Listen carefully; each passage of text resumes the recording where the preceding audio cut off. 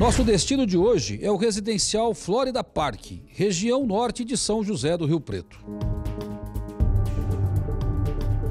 No local, onde deveria haver uma praça, é só mato e muito descaso. Foi a dona Conceição que, depois de ver o quadro, resolveu chamar o repórter do povo. Ela conta que a situação é antiga e o perigo anda lado a lado com os moradores. Qual que é o problema aqui? Isso é uma praça ou é um pasto? Ah, isso eu já não sei, porque aqui, filha, aqui já apareceu até, até boi, boiada aqui. Então é pasto, é pasto. Sabe, era pra ser uma praça, né? O Anderson mora no bairro e também reclama das condições do local. Falta iluminação e entulhos e restos de materiais de construção são jogados por aqui. Até um abaixo assinado os moradores já fizeram para tentar resolver o problema, mas até agora nada foi feito.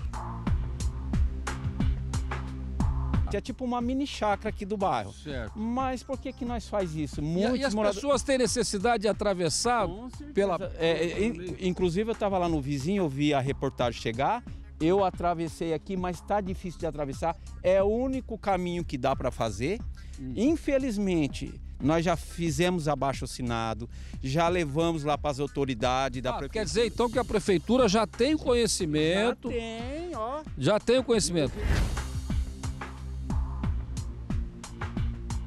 Para ir à escola, as crianças precisam passar pelo local. Os dois filhos da dona Conceição já foram picados por escorpiões. E a situação é preocupante.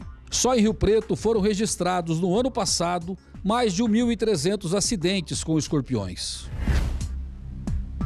Eu tava preparando aqui, ó, comida aqui. Aí, enquanto meu marido pediu pro meu, meu menino erguer um pedaço de pau, ele foi mordido pelo escorpião.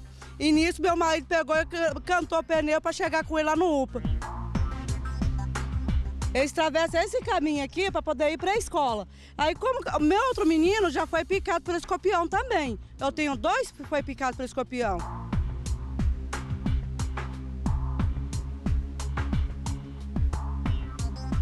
E para dar voz a essa parte da população e cobrar soluções para o problema, o repórter do Povo foi ouvir o poder público. Nós conversamos com o secretário de Serviços Gerais, o senhor Ulisses Ramalho. O que, que o senhor, como secretário da pasta, eh, tem a dizer para esses moradores lá do Florida Park com relação à praça pública lá da- do bairro? Bom, esse ano particularmente existe uma explicação é, que é visual, né? Choveu 120 dias direto. É claro que houve um atraso no serviço da prefeitura, uma vez que você não vai colocar o funcionário aí em risco trabalhar na chuva, né? Então atrasou muitos serviços. Mas essa praça, essa semana estará roçada.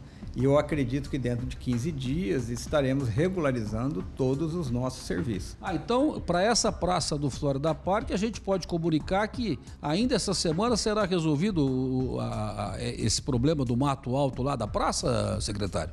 Com certeza, assumimos aqui total responsabilidade sobre o que eu estou informando. É, E o nosso compromisso, secretário, uma vez realizada a obra, é, a gente mostrou o problema, como o senhor pôde ver nas imagens, e o nosso problema, é, o nosso compromisso é também mostrar a solução dada pelo poder público. Sim, e na verdade a, a imprensa ajuda muito a resolver os problemas da cidade, né? Então vocês trabalham como se fosse um termômetro dos problemas. Então estamos aqui para atender a imprensa, atender a população e a todos que nos procurem.